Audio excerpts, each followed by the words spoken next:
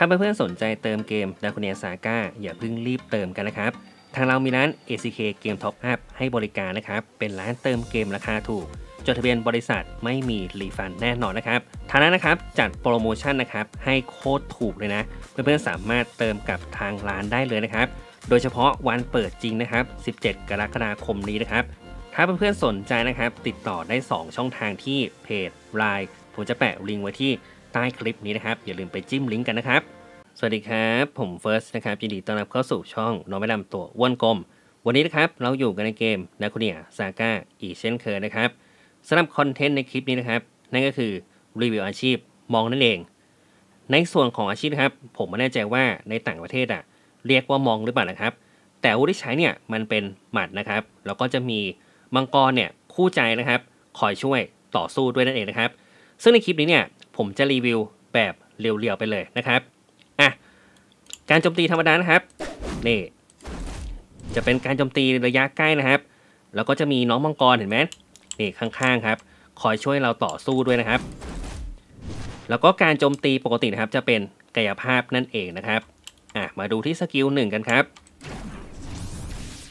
อ่า skill หนึ่งเป็นการต่อยอยู่ประมาณ 4 ฮิตเนาะแล้วก็จะมีมังกรนะครับ วนรอบตัวด้วยนะครับ อะ skill ที่ 2 skill ที่2นะครับจะเหมือนกับพลังคลื่นเต่านะครับ แล้วก็มังกรจะเป็นอีกสีหนึ่งนะครับอ่าเป็น 2 ตัวนะ skill ที่3นะครับอ่าเป็นการกระโดดเตะโคงสว่างนะครับ แล้วก็มังกรจะเปลี่ยนสีด้วยนะครับ ต่อไป skill ที่4นะครับอ่าจะเป็นการต่อยกับเตะนั่นเองนะครับ เมื่อกี้เนี่ยสังเกตไหมเราใช้ skill 1 2 และ 3 เนี่ย มันจะมีมังกรคนละสีนะครับ เมื่อเราใช้ skill 4นะครับ มันจะได้รับ buff ตามมังกรที่เป็นสีนั่นเองนะครับ ถ้าจำไม่ผิดอะมันจะมี buff โล buff focus อีกอันหนึงผมจำไม่ได้เนาะเพราะว่าแปลไม่หมดนะครับ เอาง่ายๆคือทั้ง 3 สีเนี่ยก็จะมีbuff ที่แตกต่างกันเมื่อใช้ skill 4แล้วกันนะครับ แล้วก็ทุก skill นะครับ ไม่จำเป็นต้องมีเป้าหมายหรือว่า target นะ สามารถกดใช้ได้เลยนะครับ อ่าหันไปทางไหนก็ใช้ได้เลยนะ อันนี้คือข้อดีนะครับ ในส่วนของ skill เนี่ยก็ค่อนข้างที่จะขาตายนะครับเพราะว่าตอนใช้เนี่ยมันเดินไม่ได้นะเห็นไหมอ่าแต่ animation skill เนี่ยมันค่อนข้างไวนะครับ อย่างการต่อยก็ไวนะอ่า cancel ได้เลยนะครับอ่า dash cancel ได้เลยเนาะไม่ยากอะไรนะอะเดี๋ยวมาชม ulti กันนะครับ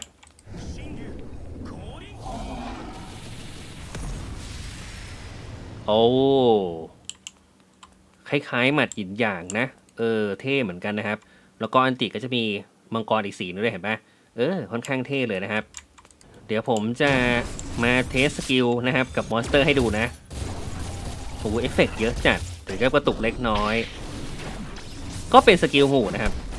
อ่า AOE เหมือนกันนะ เห็นไหมเพราะว่าพอเราใช้ skill เนี่ยมันจะดูด monster เข้ามาด้วยครับ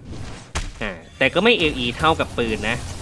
เอออันนี้เป็นระยะใกล้แต่ว่าก็วงกว้างเหมือนกันนะครับเห็นไหม อ่าเคลียร์ mon ได้ค่อนข้างดีเห็นไหมมันจะมีท่ารวบเข้ามานะครับ ดูด monster เข้ามา ก็ทำให้เคลียร์ monster เป็นกลุ่มได้ดีนะครับ เคลียร์ไวด้วยนะ เออ แล้วก็ damage หรือว่า DPS จำนวนฮิตเนี่ย ออกมาค่อนข้างถี่มากๆเลยครับ เท่าที่ผมสังเกตอะ น่าจะถี่กว่าอาชีพปืนนะ อ่าเดี๋ยวลองใช้ ulti ดู อืมนี่ไง ulti ก็ดูดเข้ามานะครับ เออ คือ skill มันดูด monster เข้ามาเลยครับ เพื่อให้เคลียร์ไวเนาะโอ้กินเอฟเฟกต์เยอะนะ กระตุกบ่อย โอเค กับ monster ก็น่าจะ test ประมาณนี้เนาะให้เพื่อนๆเห็นภาพคร่าวๆนะครับว่าเป็นประมาณไหนนะครับ ทีนี้นะครับเดี๋ยวผมจะมา test DPS กับหุ่นฟางเนาะพลังอยู่ที่หมื่นเจ็ดนะครับ อ่ายังไม่เยอะนะ ไม่ได้ทำของเลยก็ว่าได้ อ่าจำนวนฮิตนี่คือโอเคเลยนะ แล้วก็ cooldown skill ไวนะครับหนึ่งสองและสามเนี่ยไวมากอ่ายังเป็น skill สี่ที่จะช้าหน่อยนะครับโหดไหมฮิตถี่นะ